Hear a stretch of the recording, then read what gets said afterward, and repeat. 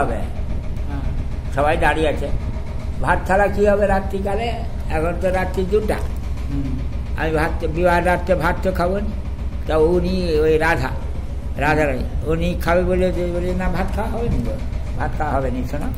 বোকা, শোনো তুমি, শোনো।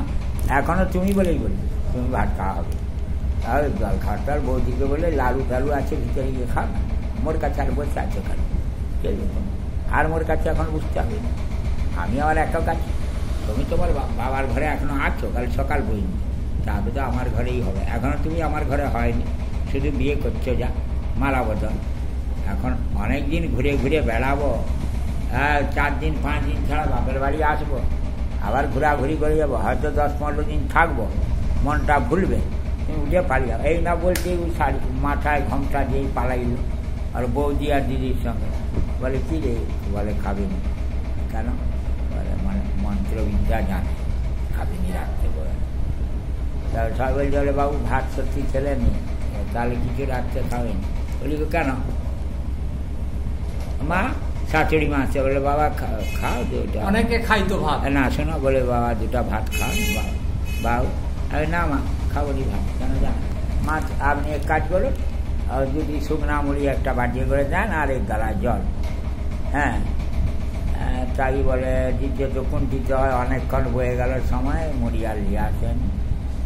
বলে বলে না তা ও দিয়ে ভিতরে করছে বালিশ আর মাদুরি দিয়ে হচ্ছে তা আমি দেখতে পাচ্ছি বলে "এ, শুভা শুয়াটা কেন? কাটকে উঠেছি বলে শুয়ানিরা শুয়ে পড়ো। হ্যাঁ, উঠো।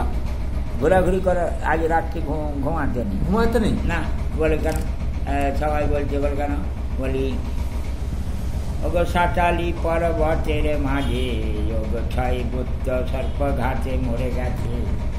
মনসা দেবীর কোপে পড়ে।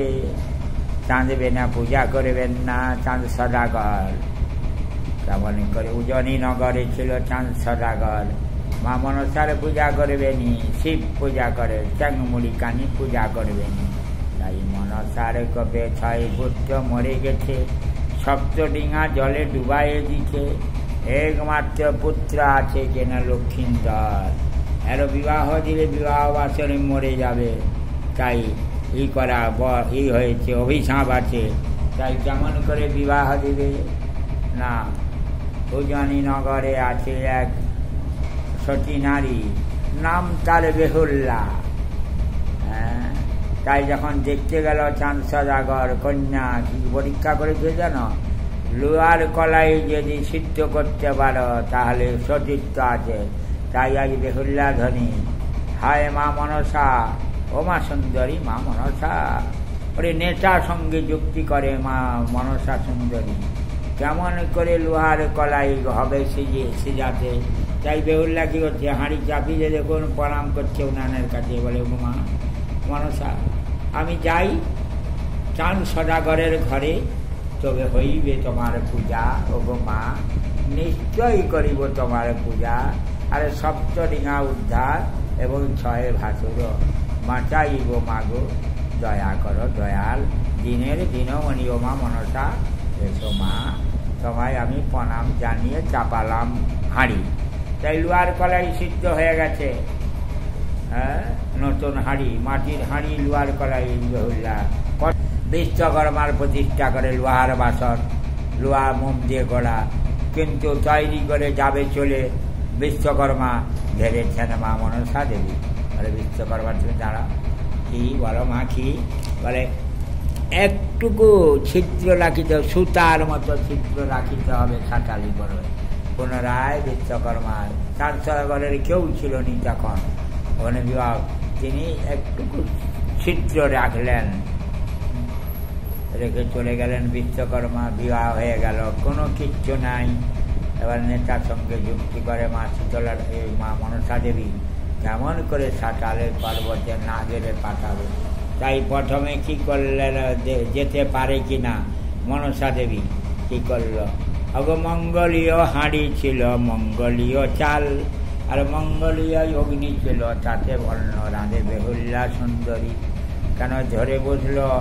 আবার লক্ষ্মীন্দর অন্ন খাবে। বেহুল্লা বলছে অন্ন খাচ্ছে না নেই রাত্রিকালে ওগো স্বামী, খাওয়া হবে না। কিন্তু শুনে নাই বলে কি যায়, প্রাণ চলে যায় বেহুল্লা তুমি অন্ন করে দাও। আরে মঙ্গলিয়া চাল বলতে কি জানো দাদু? ওই যে সম্পাদন করা সে চাল।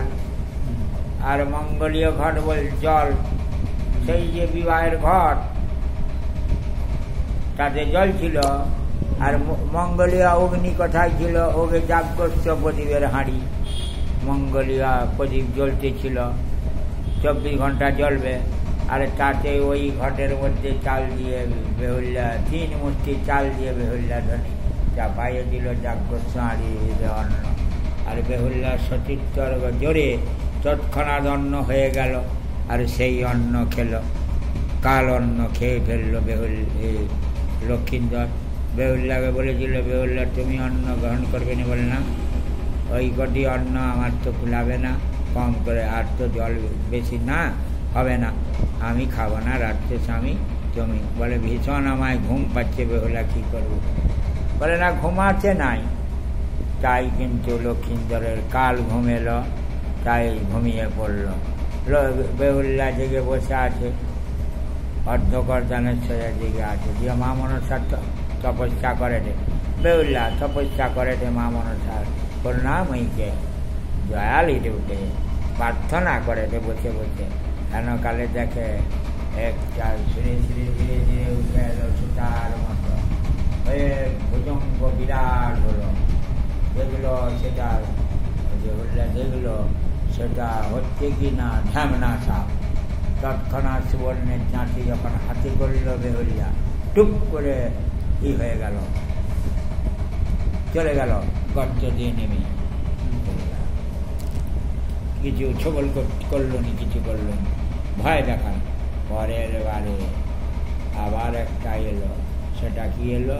না ধরা সো চলে গেল তক্কা। সুবর্ণের জাঁটি হাতে ধরতে পালিয়ে গেল এইবারে অটুট ঘুম ঘুমিয়ে গেছে লক্ষ্মীন্দর সুতার মতো হয়ে আছে। আমার প্রণাম করি।